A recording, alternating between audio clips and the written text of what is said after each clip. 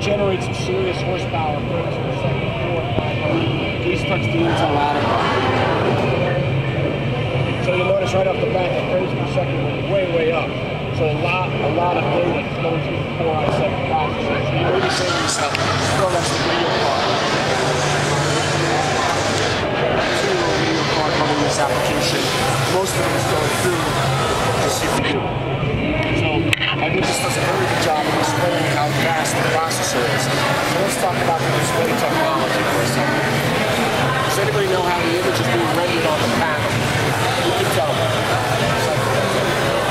Projector. Who can tell me how the image is being rendered on, on the panel?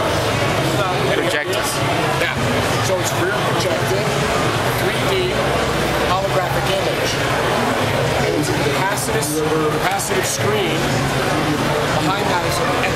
foil layer receives the, um, um, uh, projected light and gives us the image. So it's just basically two pieces of glass inside. customize this chair to fit you in particular.